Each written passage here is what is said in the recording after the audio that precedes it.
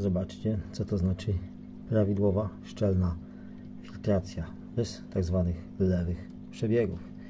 Patrzcie, tu mamy wlot do komory z filtrem. Jak widzicie jest zalana.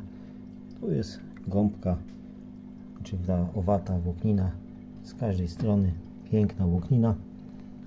To Wam się wydaje, że tam jest rura, tam jest nie ma rury, tam się po prostu odbija ta z góry. A zobaczcie tutaj.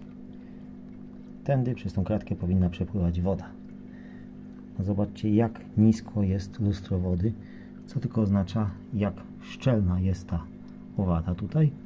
Ona jest cała zapchana, także nie przepuszcza już tej wody. I zobaczcie, tu jest, no widać gdzieś tam na dole jest woda. Ja potem poznaję, że e, kończy mi się już e, właśnie ta owata, że ona jest cała zanieczyszczona, że jest słaba wydajność, słaby przepływ po prostu wody przez e, hydroponikę i od razu wiem, że trzeba wymienić sobie tą oto włókninkę. A teraz patrzcie na to. Puścimy wodę.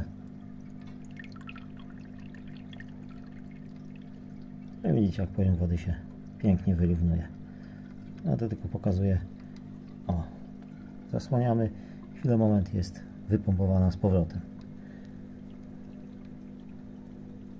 Ach, pompa od hydroponiki już złapała tą wodę i już od razu słychać, że jest lepszy przepływ. No ale zobaczcie, jak ona jest szczelna. Także od razu widać, jakie to jest e, dobre rozwiązanie. Zobaczcie. Jest zanieczyszczona, nie przepuszcza wody i automatycznie. A teraz ja sobie to szybko wymienię.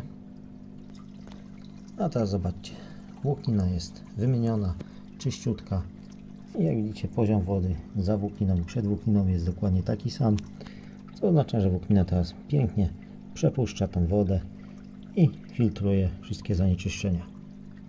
O, nawet widać jak ładnie ta woda tutaj wpływa do tej komory. I od razu zaczęła też lepiej pracować hydroponika. Dostaje znacznie więcej wody. No, widzicie, poziom wody jest już teraz taki sam. Także tak można poznać, czy filtracja jest sprawna, czy ma lewe przebiegi. U mnie nie ma.